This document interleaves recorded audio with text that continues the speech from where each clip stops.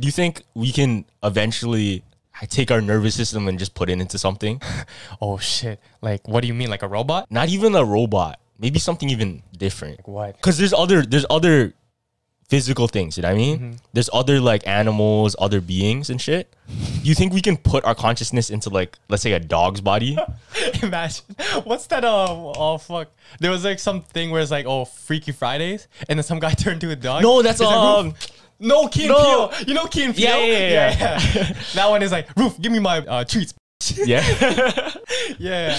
yeah. So no, it was Shaggy Dog. I think that's the movie. Shaggy Dog. He, oh he turned yeah. into the dog. He turned into the dog, right? yeah, yeah, that's fire. So imagine with like Neuralink or some shit. Yeah. With Elon Musk coming out, he he might come out with some next stuff for our mind, for our brain, where we can transfer like consciousness to something else. That's so far. No, not even that. It's like you put on a headset, right? Yeah. And then you choose, like, you're going through selections of what mm.